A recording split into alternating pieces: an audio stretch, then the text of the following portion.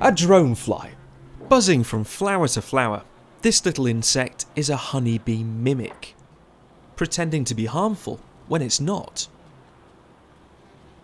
This particular species is known by its binomial name, Eristalis tenax. But what does this mean? What's a binomial name? All will be revealed.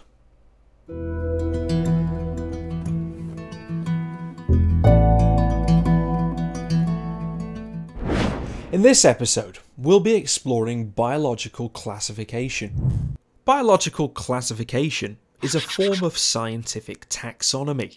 As we've learnt in Phil's Insect Orders episode, taxonomy is simply a way of putting things into categories. Biological classification is how scientists categorize all living things, from bison to bacteria. The man who came up with it all was Carl Linnaeus, who came up with a system of categorizing the natural world based on shared characteristics. Most importantly, he came up with something called the Latin binomial system, a two worded system used today to give a unique scientific name to every known species. We'll come back to that in a little bit. His ranking system was much improved by Charles Darwin's principle of common descent and the onset of modern cladistics. Instead of organisms being grouped purely on shared characteristics, they were now grouped according to evolutionary relatedness, using evidence from multiple fields. So, what are the ranks that Linnaeus came up with? Well, let's go back to our dronefly. We'll start with the species Eristalis tenax. This is the Latin binomial name and is unique to this species. Tenax is a species name given to only that specific type of dronefly. Eristalis is the name of the genus. There are nine other species of dronefly in Britain that share this genus, all of which are closely related.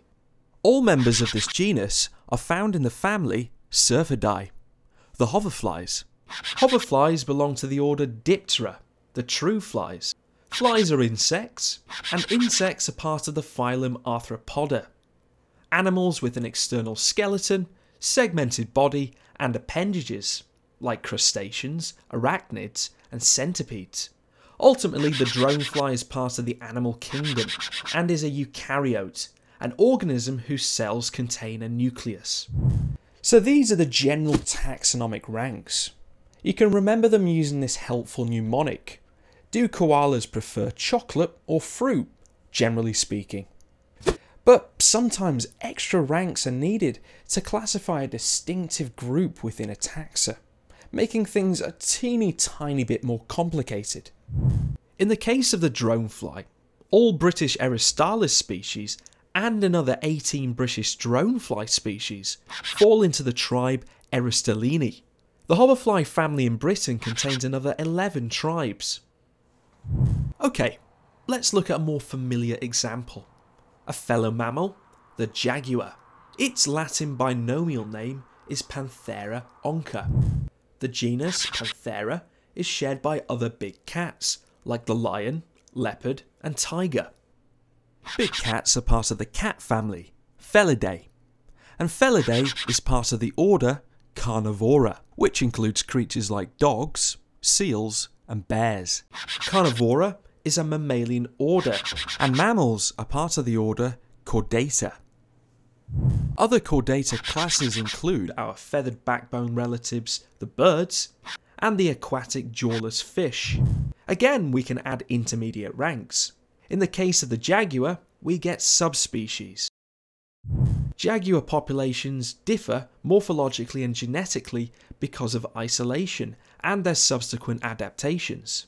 Jaguars have eight recognised subspecies. So why not just call it a jaguar? Well, jaguar is its common name, but common names can differ from country to country or even within regions within a country. For example, this plant is called cleavers, sticky bud, or even goosegrass, depending on what part of the UK you're from. Sometimes two different species can share the same common name.